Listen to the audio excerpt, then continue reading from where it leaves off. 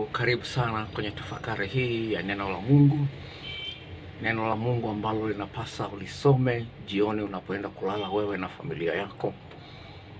Nitachukua muda usiozidi dakika tatu kukupa neno ambalo litakusaidia kutafakari wema, ukuu, haki na mapenzi ya Mungu. Mungu anazungumza kwenye kitabu cha Malaki sura ile ya tatu kuanzia mstari wa kumi na tatu mpaka ule wa mwisho, yaani wa kumi na nane kwamba Mungu anafurahia watu wanapokaa pamoja na kulitafakari na kuzungumza juu ya neno la Mungu na mapenzi ya Mungu. Sikiliza neno la Mungu kutoka Malaki sura ya tatu kuanzia mstari wa kumi na tatu. Maneno yenu yamekuwa magumu juu yangu, asema Bwana. Lakini ninyi mwasema, tumesema maneno juu yako kwa namna gani?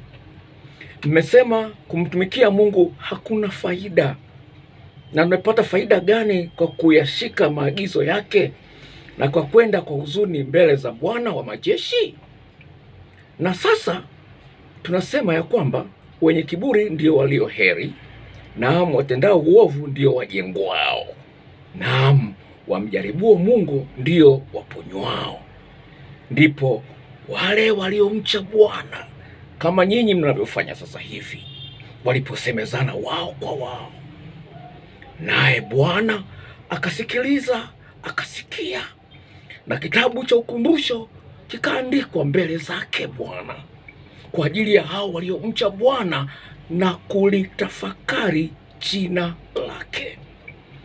Nao watakuwa watu wangu, asema Bwana wa majeshi, katika siku ile niifanyayo, naam, watakuwa hazina yangu, hasa mimi nitawaachilia kama vile mtu amwachiliavyo mwanawe mwenyewe amtumikiaye. Ndipo mtakaporudi nanyi mtapambanua kati ya wenye haki na waovu, kati yeye amtumikiaye Mungu na yeye asiyemtumikia. Neno la Mungu linaonyesha wazi kabisa kwamba tunaweza tukajaribiwa kuona kwamba hakuna faida kumtafuta Mungu, hakuna faida kumwomba Mungu, kusoma neno la Mungu.